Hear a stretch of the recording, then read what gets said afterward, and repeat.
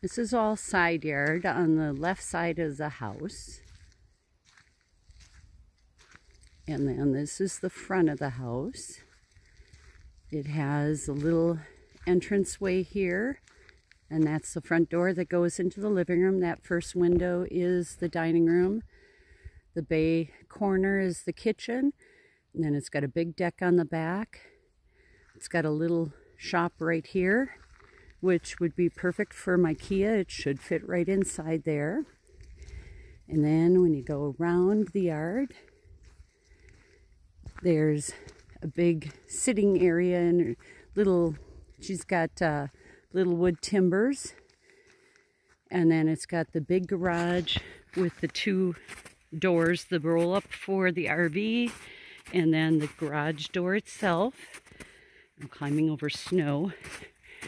And then there's another little shed, which would be a garden shed. And then it goes all the way down along here. So I'll come around the back. And so here's the back porch. Big back porch with a rain barrel.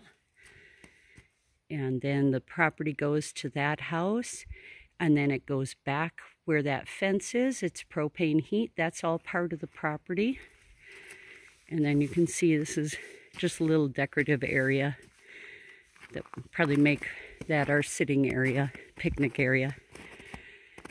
And the property goes way back to where that fence is and then cuts across at an angle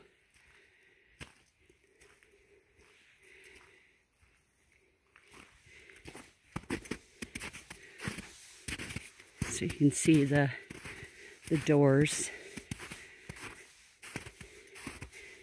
And then the property goes to that cyclone fence that's behind that tree, the first tree on the right. So it goes all the way back. And there's hose bibs, frost-free hose bibs out here. So I got plenty of room for garden area. And then it goes, like I said, over to that fence. And the nice thing with this property, there are no neighbors. It butts up to the woods. So we'll have lots of deer, possibly even elk that'll come right into our yard.